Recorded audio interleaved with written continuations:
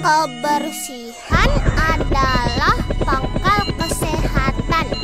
Kita harus hidup bersih supaya selalu sehat dan terhindar dari penyakit. Eh, aduh, Kak Denis kok mukul Ucup? Sakit tau, Kak? Eh, maaf, Cup.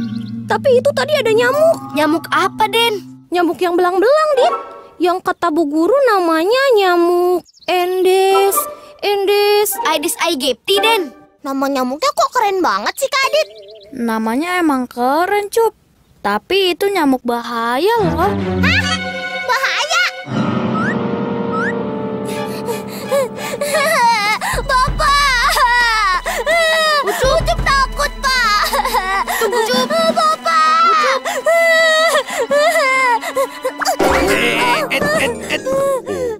Aduh. Ini apa toh? Main nabrak aja gitu loh. Om, Ucup, Ucup kok nangis? Ucup takut, Bang Sopo. Bah, kau apakan si Ucup? Weh, lah kok saya toh panas? Ucup nangis bukan sama Bang Jarwo panas. Ucup ketakutan kena demam berdarah. Emang kalau musim hujan udah mulai, bakalan mewabah yang namanya nyamuk Aedes aegypti. Ini nyamuk yang bikin orang kena sakit demam berdarah. Mana nyamuk yang berani gigit anak sayangan Dedi? Hah? Biar dia dipiting tar. Ciat, ciat. Nyamuk kagak bisa dilawan ame silhat, Nip. Tapi kita kudu ngelakuin 3M. Menguras bak-bak kamar mandi, mengubur kaleng-kaleng, botol air mineral bekas, dan tempat-tempat yang bisa menjadi sarang nyamuk seperti ember dan sebagainya. Dan terakhir, menutup tempat-tempat penampungan air yang bisa menjadi sarang jentik-jentik nyamuk demam berdarah. oh, bahaya toh Bang Haji. Ember-ember sama kaleng-kaleng itu. Kalau dibiarin, bisa jadi tempat bertelurnya nyamuk-nyamuk demam berdarah, wo. Jadi kita kudu kasih tahu warga deh. Ah, setuju aku.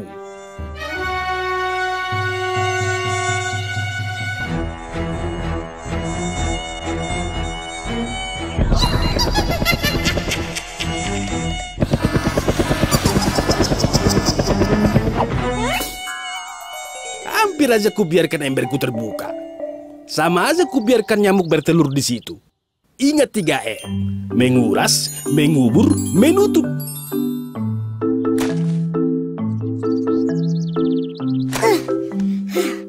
Cukup ya Dan lubangnya. Insya Allah cukup Dit. Nah, ini nih yang bisa jadi tempat nyamuk. Iya kan Dit? Ya Kipli, bawa ke sini. Nanti kita kubur. Ucup juga nemu kaleng bekas. Aku juga nemu ini nih. Wah, pantas saja di taman suka banyak nyamuk. Ternyata banyak barang bekasnya yang jadi sarang nyamuk Dit. Iya Den, kita kubur sekarang ya.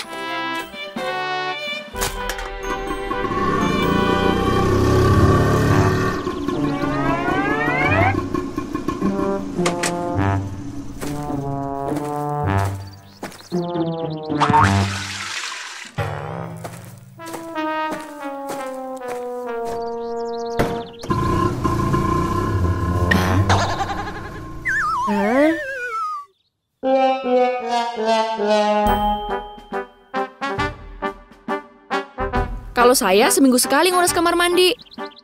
Lah, emang kudu begitu Bu Salama? Yang lain juga kudu begitu ya? Siap Pak Sanip. Siap, Pak. Terima kasih informasinya. Iya, terima kasih Pak Sanip. Sip, 86, saya jalan dulu ya. Eh, Pak Sanip, yang itu jangan ditabrak. iya, maaf Bu Salama. Tahu nih kaki, mau ngelangkah ke sono aja.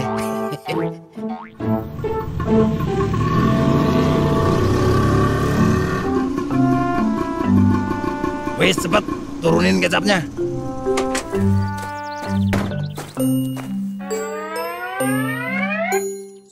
Wih, ember lagi.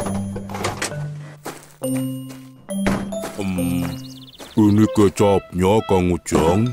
Eh, Bang Sopo, makasih ya tuh ya. Di saat menunggu tak menentu, kamu teh datang tepat waktu. Iya Kang Ujang. Sopo langsung jalan lagi ya. Makasih ya Bang Sopo. Nggak bisa dibiarin ini. Oh, Nggak bisa. Memang gak bisa atuh Bang Jarwo mangkok dibiarin numpuk begitu. Minta dicuci, jangan pakai nanti. bukan mangkoknya Kang Ujeng, tapi ini Eh, mau dibawa ke mana ember saya? tak kubur Kang Ujeng. Hah? Kenapa dikubur? Karena ember ini bahaya Kang. Bahaya gimana Bang Jarwo? Itu kan cuma ember yang gak tahu apa-apa. Jangan Kang, jangan. Ih, sini, kembaliin Bang Jarwo. Jangan Kang, jangan. Kembaliin. Waduh. Ele, Bang Jarwo. Masya Allah. Ini kenapa pada basah-basahan begini? Ini Bang Jarwo, Pak Haji. Kang Ujeng ini loh Bang. Ele, kenapa jadi saya? Ya saya ini kan cuma ngikutin apa yang Baji bilang toh. Nggak boleh ada kaleng-kaleng. Ember-ember yang berisi air. Bisa bikin sarang nyamuk. Ah, emang bener ente wo. Kaleng-kaleng sama ember-ember berisi air bisa bikin sarang nyamuk. Tapi yang aneh maksud kaleng-kaleng sama ember-ember. Yang bekas kan Pak Haji, yang udah nggak kepake. Wih, masa iya? Saya nggak dengar bekasnya kok tadi. Makanya wo, kalau ada informasi apa-apa, jangan didengarnya setengah-setengah. Nanti jadi salah tanggap. Pokoknya mah saya nggak mau tahu. Wih, Bang Jarwo mesti ambilin lagi air buat cuci mangkok saya. Nah, tuh wo, Aduh. Salah lagi, salah lagi. Bang Jarwo. Bang Jarwo. Wis, wis. Yang sabar, bos.